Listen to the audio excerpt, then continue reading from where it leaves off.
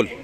अतीक अहमद और अशरफ का शव स्वरूप रानी अस्पताल के पोस्टमार्टम हाउस में रखा हुआ है। इसी पोस्टमार्टम हाउस में दोनों का शव रखा गया है। माना जा रहा है, अब से लगभग एक घंटे के बाद जो पोस्टमार्टम की प्रक्रिया है, वो शुरू होगी। जो डॉक्टर्स की टीम है, वो कुछ देर में यहाँ पहुँच जाएगी। एक डॉक्टर हैं, जिनकी यहाँ पर ड्यूटी लगाई गई थी, वो मौके पर पहुँच चुके हैं। उनका कहना है, कुछ देर के बाद जो तमाम डॉक्टर हैं, वो आएँगे। और जो विशेष पोस्टमार्टम होता है, उसमें एक घंटा लगता है और एक से दो घंटे में ये पूरी पोस्टमार्टम की प्रक्रिया खत्म हो जाएगी। फ़िलहाल अभी पोस्टमार्टम नहीं शुरू हुआ है। माना जा रहा है कि कुछ देर के बाद, लगभग एक से डेढ़ घंटे के बाद अतीक अहमद और अशरफ की बॉडी का पोस्टमार्टम शुरू होगा। क्योंकि दो बॉडी है तो हो सकता है इस पूरे प्रोसीजर में तीन से चार घंटे लग जाए। फ़िलहाल पुलिस के तमाम आला अधिकारी लगातार पोस्टमार्टम हाउस पहुँच रहे हैं। कुछ देर पहले एसीपी जो थे, वो यहाँ पहुँचे थे। पुलिस बल के साथ